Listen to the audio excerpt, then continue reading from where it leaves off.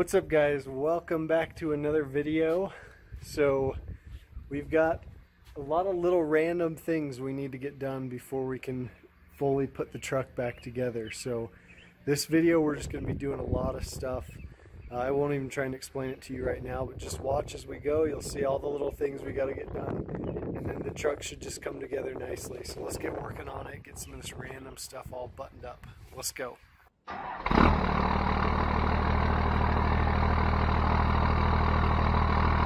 All right, so the first thing we need to do, I picked up this bumper for a good price. Um, and as you can see, it's it needs to be painted. Um, I was debating on how I was going to do this. I was trying to decide should I make the front and the rear bumper both black. Um, I like the chrome look with the new color. So what I decided is I'm actually going to paint this bumper chrome. And I know some of you may cringe at that. Um, honestly, it's not the it's not my top choice of what we're gonna what we could do to this, but I like the chrome look with the new color. Um, it's not gonna be amazing, but it'll it'll do the job. It'll look fine, and then I'll just keep an eye out for a chrome bumper. And when I find one, I'll just replace it. Not a big deal. So I'm gonna scuff down the bumper, and actually, what I'm gonna do is only paint this part and this under lip and then the step I'm actually going to do with bed liner. So I just need to scuff all this. I put some uh, PB Blaster on the ball so hopefully we can get that off. I'll paint that part as well. Actually I may do that bed liner as well. So anyways we're just going to do this the back part of it and I got just some Rust-Oleum chrome paint which I did a little research on. Supposedly it's a good product. You just have to let it cure for like five to seven days before, so it can really cure and harden up. So I want to get that done today so we can, as soon as we're ready to bedline the bed, we can bedline this as well. So anyways, I'm just going to sand it real quick with some 180 grit and then uh, move down to some finer sandpaper and then we'll paint it. So let's do that first.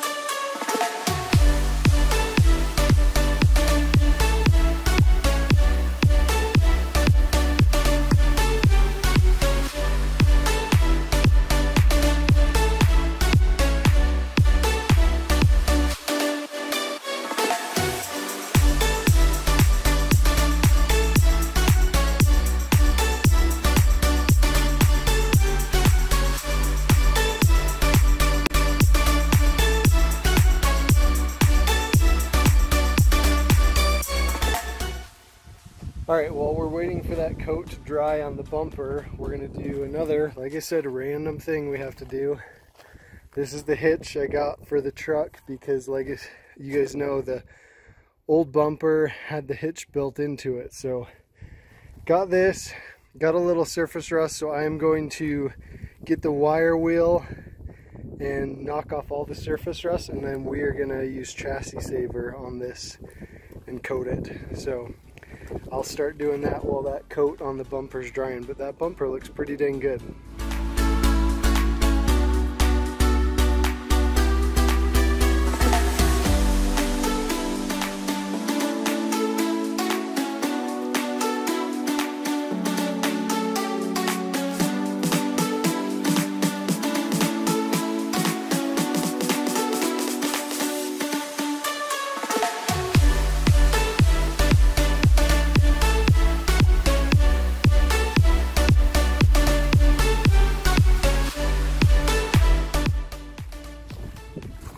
Alright guys, this stuff is uh, chassis saver. I'll link a video above of me doing this stuff all over the frame of my truck. Really good stuff and you can paint it right over the rust as long as you get all that scaling, kind of flaking surface rust off. So I'll show you what this looks like when it's done, but it looks really nice.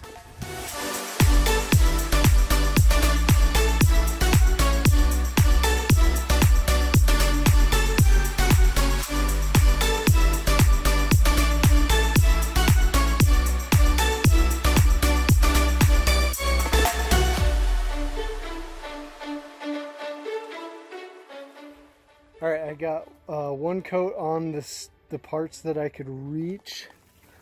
So look how much better this looks. Looks like a brand new hitch.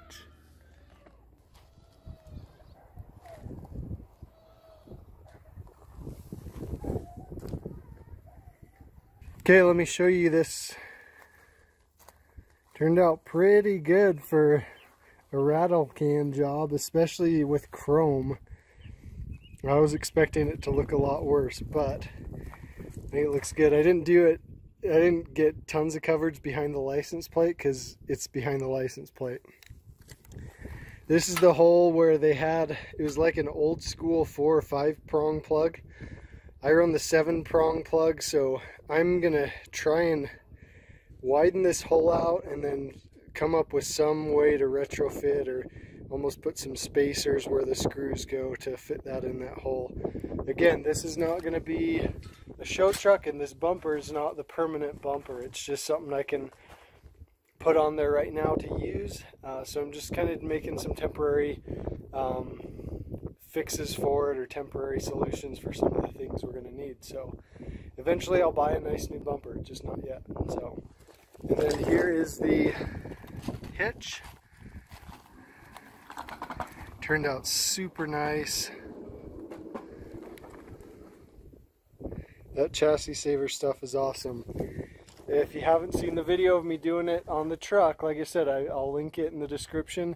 But that stuff is not very UV uh, resistant. So the reason I'm okay doing it on the frame and on something like this is all that stuff's tucked underneath the bed it's not going to get a lot of sunlight on it, so uh, it should be fine. But if it was like, you know, I'm going to do the top of the bumper black, but I'm not going to use chassis saver because this is going to be in the heat of the sun most of the time, so I'm going to use bed liner right there. Um, so you just got to know the product, know its strengths and weaknesses and how to use it, and use it accordingly. So we're losing light tonight, but uh, we're going to keep working on some stuff in this video. Like I said, a lot of random stuff so we can start putting the truck back together. So uh, we'll see you tomorrow. All right, guys, next day here. So we have, we're to finish chassis savoring this. We just got to get the spot that I couldn't access when it was standing up.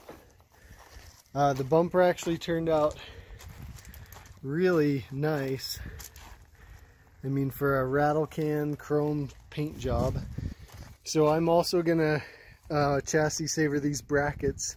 They've just got a little surface rust on them. Uh, so I'll do that as well when I do that. Let me show you what I'm working on right now.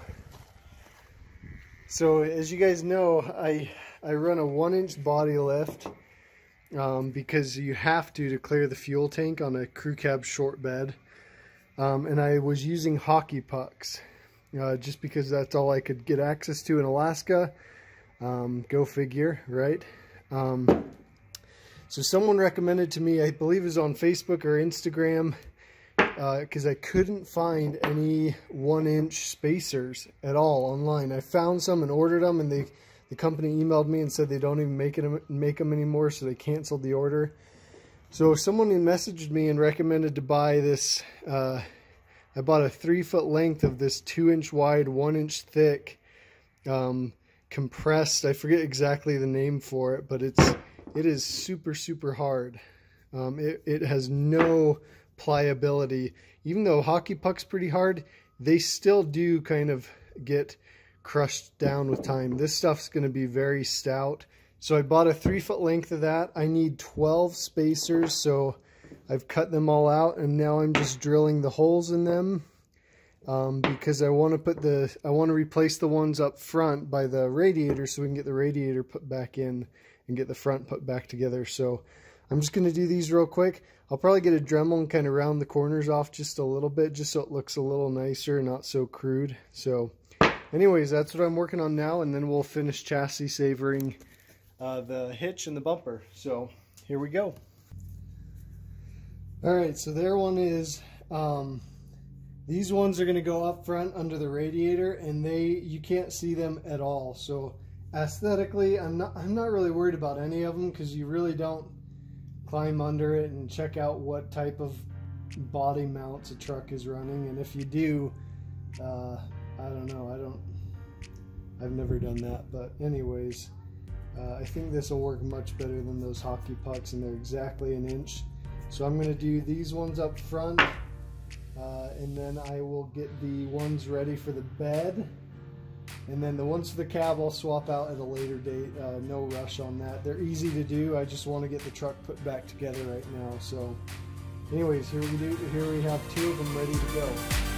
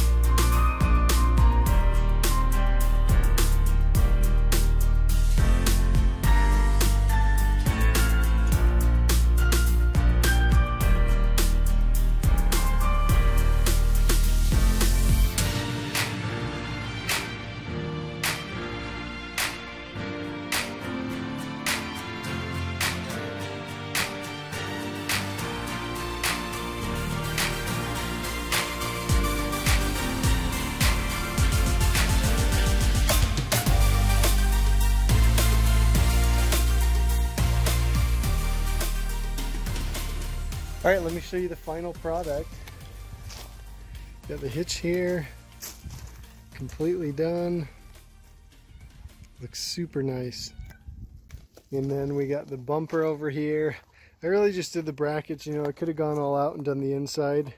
But like I said, this bumper is temporary. It's just to get me by till I find a nice uh, OEM chrome one with a, uh, you know, with the factory chrome on it that's in good condition so. Looks pretty good though.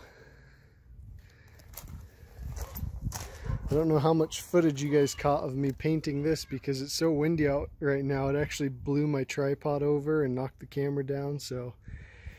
Anyways that's that. So I'm gonna I, am gonna run to the hardware store get all the hardware to mount the bumper the hitch and I need new bed bolts as well so I'm going to do that and then we'll probably later this evening we'll get that stuff done.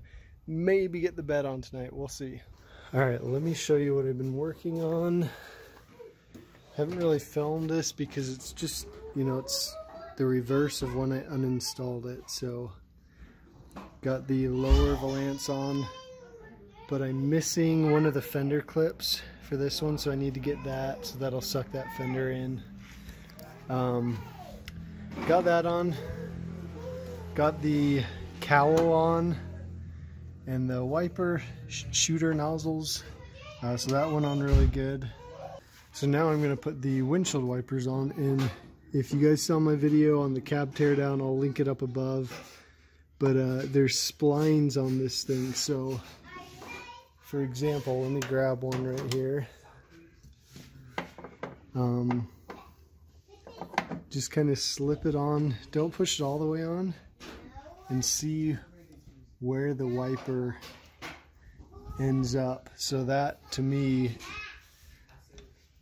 is a little too high. So I'm going to switch it down one spline. So you just kind of wiggle it off.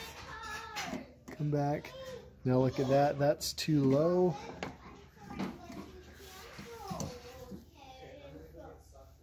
That's maybe one spline too low. And that's perfect right there.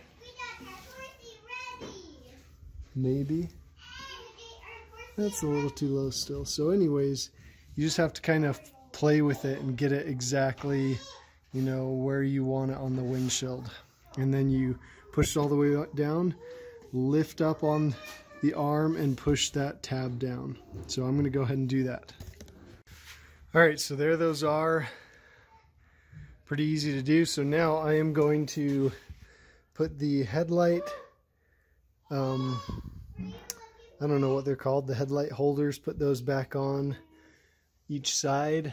And then uh, we could put the grill back in. I'm not going to put the radiator in quite yet because I want to put the bed on and make sure the bed and the kind of alignment is perfect and that the um, core support doesn't need to go up or down. So I'm not going to put the radiator on until we get the bed completely lined up with the cab and the front clip.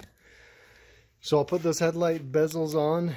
Uh, again, if you, I'm not really showing you how to do this. If you want to know how to do it, go watch the video of the cab teardown during paint. I show how to do everything.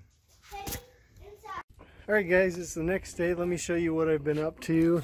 So I have the truck pulled out. I just washed the frame again because I'm going to put the hitch on, the bumper, and then have a buddy come over and help me put the bed on. So that's where we're at. I did a few things off camera.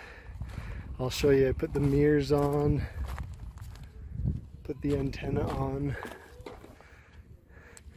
So I'm to put the grill on and the front bumper too, but I want to uh, pressure wash everything up here first. So I'll do that right now too. It's so dirty and it's really funny because I've literally never washed this truck because it just has, you know, it's been three different colors. The paint's worn out, so I've never washed it. So it's really weird to feel like it needs to be washed. So we'll get the bed on and then wash it and uh, making super progress. It's so cool to see it come back together. So I'll put the hitch and the bumper on and then uh, we'll get, I'll show you guys putting the bed on. So stay tuned. All right guys, the moment of truth and I forgot to film it. So my bad, we put the bed on, but I'm gonna give you guys a look right now. There she is. Got the bumper on too. Pretty good looking bumper for a chrome spray paint job. So I got to put the mounts under the bed and bolt it in. The hitch that I, you guys saw me redo didn't fit. So I'm going to have to look for a different one. Again, we're going to be doing, next two videos are going to be bed liner and putting the new exhaust in. Show you the front. I just put the grill on too.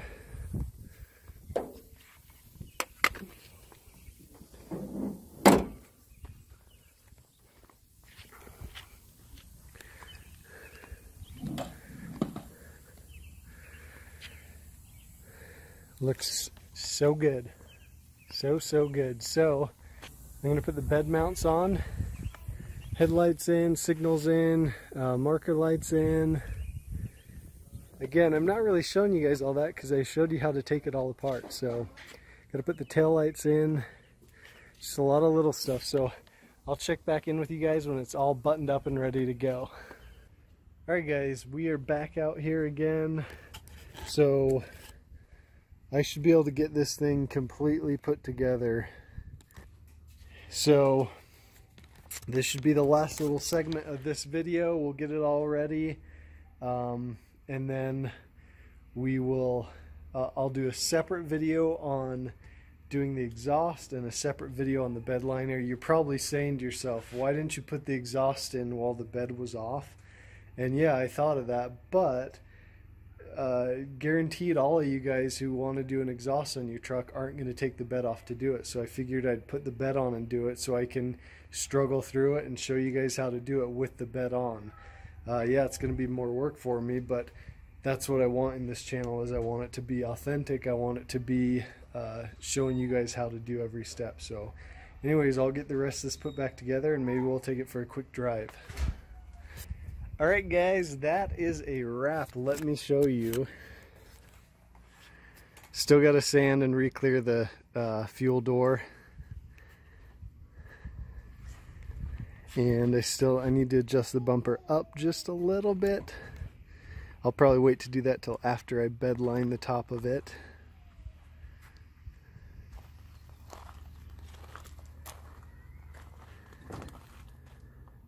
And I need to adjust the bed just a little bit with some uh, what do you call them the little plates you put in there shims. So I'll do that. But I was just too anxious. I had to take it for a drive. There it is.